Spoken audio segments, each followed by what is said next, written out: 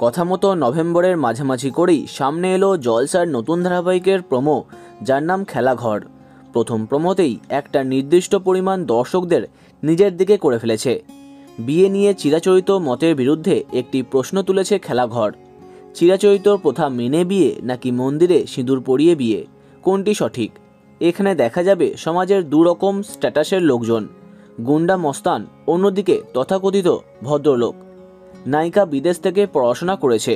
অন্যদিকে শান্টু মানে গল্পের হিরো, একজন স্থানীয় গুন্ডা।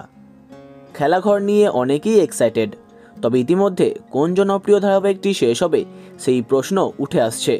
এই ভিডিওতে একটা আলোচনা করা হবে। জাস্ট একটা আলোচনা মাত্র। তোমরাও এই আলোচনায় অংশগ্রহণ করতে পারো। কিন্তু ভিডিওটি সবটা দেখতে হবে। প্রথমেই বলি, কে আপন কে পর ধারাবাহিকের ব্যাপারে। চার বছরের বেশি সময় ধরে চলছে এই ধারাবাহিকটি এবং গল্পেও বর্তমানে বিশেষ কিছু দেখাবার বাকি নেই। তাই এটি শেষ হবার চান্স সব থেকে বেশি। তবে নতুন সিরিয়ালকে সাড়ে দশটাতে না দিয়ে ওই স্লটে হয়তো অন্য সিরিয়ালকে দিয়ে সেই জায়গাতে আসতে পারে খেলাঘর। কোড়া পাখি ধারাবাহিকটিও শেষ হতে পারে। তার কারণ, প্রথম থেকে বেশ ভালো জনপ্রিয়তা পেয়ে এলেও, যবে থেকে এর প্রতিপক্ষ বদলে গেছে, তবে থেকে খুব একটা স্লট পায়নি। তাই সাড়ে নটাতে আসার সম্ভাবনা অনেকটাই বেশি নতুন ধারাবাহিকের। কোড়া পাখি যদি শেষ নাও হয়, তাহলেও ওই স্লটে আসার চান্স সব থেকে বেশি। অনেকে বলছে সাঁঝের বাতি নাকি শেষ হবে, কিন্তু আমার সেই রকম কিছুই মনে হয় না। তার একমাত্র কারণ এর হাই টিআরপি তাই এটি শেষ হবে না বলে মনে হয়। অন্যদিকে জলসার ছটা এবং সাড়ে ছটা এই স্লটগুলি একটু দুর্বল।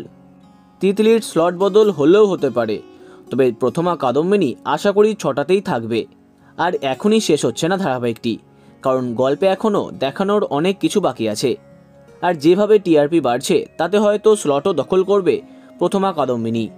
সব শেষে স্লট অনুযায়ী সাড়ে নটাতে আসার চান্স সব থেকে বেশি। আর যদি বলো কোন ধারাবাহিকটি শেষ হবে, তাহলে সেই তালিকায় কে আপন কে পর আর কোড়া পাখি আছে। তবে সবটাই এখন চ্যানেলের হাতে। দেখা যাক শেষ অবধি কী হয়। তবে তোমার কি মনে হয়? কমেন্টে অবশ্যই জানাও। ভিডিওটি লাইক এবং শেয়ার করো।